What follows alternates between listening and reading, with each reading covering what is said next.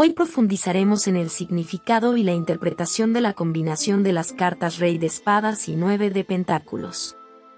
El Rey de Espadas representa la inteligencia, la lógica y la toma de decisiones, mientras que el 9 de Pentáculos simboliza el éxito financiero, la seguridad y la independencia. El Rey de Espadas es una carta que representa la lógica y la toma de decisiones.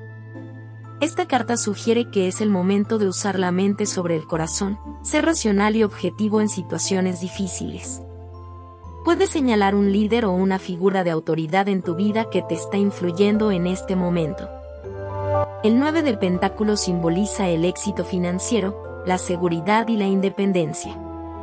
Esta carta te dice que has alcanzado un nivel de comodidad y estabilidad en tu vida puede indicar un periodo de disfrute y gratificación por todo tu arduo trabajo.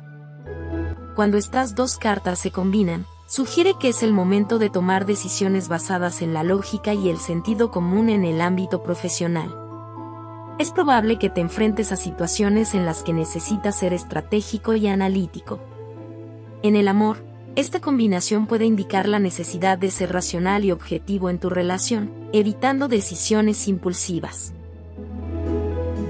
La combinación de las cartas Rey de Espadas y Nueve de Pentáculos destaca la importancia de la toma de decisiones basadas en la lógica y el sentido común, tanto en el ámbito profesional como en las relaciones personales. Es un momento para ser estratégico y analítico en tus acciones. Gracias por mirar.